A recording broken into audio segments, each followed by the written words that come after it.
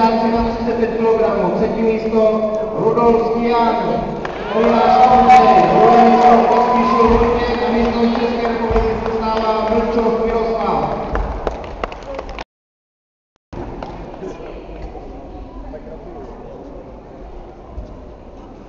To nespadne. A ty podáváš poslední. Já pokračuju vedle.